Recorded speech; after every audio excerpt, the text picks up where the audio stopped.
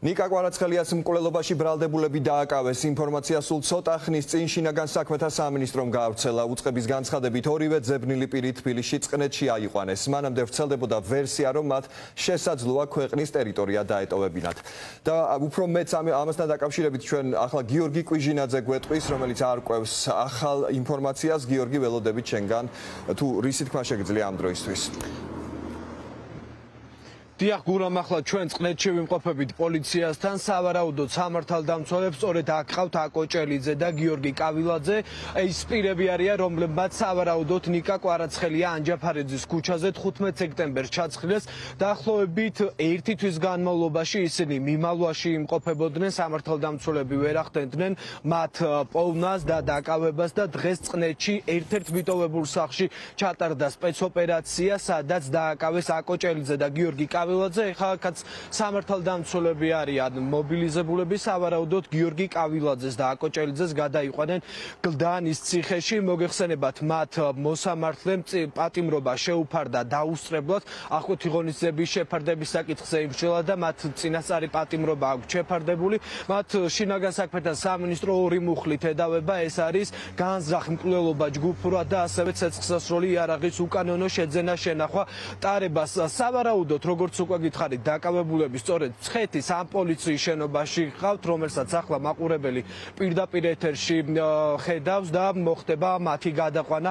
გლდანის საპატიმრო დაწესებულებაში. მოგეხსენება 15 სექტემბერს 22 წლის ნიკა კვარაცხელია ცეცხლსასროლი იარაღით ჩაცხრილეს ფორმულამ კადრებიც მოიპოვა ექსკლუზიურად ამ თავდასხმის სადაც სავარაუდოდ გიორგი ჭელიძეა ის პირი, რომელიც ნიკა აკოჭელიძე უფრო სწორედ ის პირი, რომელმაც ნიკა კვარაცხელიას მისამართით 10 ტყვია გაისროლა. ნიკა კვარაცხელია ამის შემდეგ კლინიკაში გადაიყვანეს, თუმცა მისი გადარჩენა ექიმებმა ვერ შეძლეს და ის დაიღუპა. ამის შემდეგ გავრცელდა ინფორმაცია, რომ სავარაუდოდ აკოჭელიძემ და გიორგი კავილაძემ დატოვეს საქართველოს ტერიტორია და ისინი უკვე აღარ იმყოფებოდნენ საქართველოში, თუმცა როგორც ჩანს ეს ინფორმაციაც ცდარი იყო და ისინი დღეს წნეთში ერთ-ერთ მიტოვებულ სახლში სპეცოპერაციის საფუძველზე დააკავეს და ახლა იმყოფებიან სწორედ წნეთის პოლიციაში. რაც შეეხება რამდენიმე დღის წინ გავრცელებულ ინფორმაციას, როგორც 22 წლის ნიკა კვარაცხელიას ოჯახის წევრებმა განაცხადეს, სავარაუდოდ იგეგმებოდა აკოჭელიძისა და გიორგი კავილაძის ლიკვიდაციაც, სავარაუდოდ იმ პირებისგან, რომლებმაც ამ ადამიანებს დაუკვეთეს ნიკა კვარაცხელიას მკვლელობა ჯერჯერო ფაქტობრივად სხვა დეტალები არის უცნობი. ჩვენ ასევე დაუკავშირდით ნიკა კვარაცხელიას ოჯახის ადვოკატს, ის არ ფლობდა ინფორმაციას ამ ადამიანების დაკავებასთან დაკავშირებით. ჩვენ ასევე ვკითხეთ თუ გადაეცა ოჯახის და ადვოკატს საქმის მასალები და ამ ინფორმაციასაც არ გვეუბნება ჯერჯერობით ადვოკატი.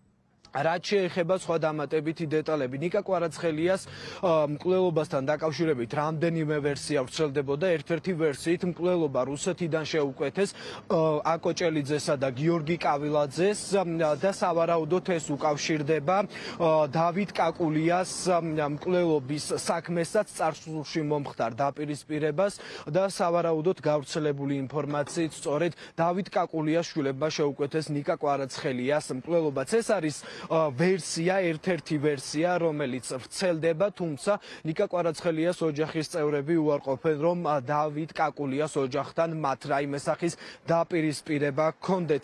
ეს ინფორმაცია ამ დროისათვის რაც შემიძლია მივაწოდოთ მაყურებელს, როგორც უკვე გითხარით, ისინი წნეთის დაკავებულები, წნეთის პოლიციაში იმყოფებიან ამ დროისათვის და მოხდება მათი გადაყვანა გლდანის საპატიმრო დაწესებულებაში.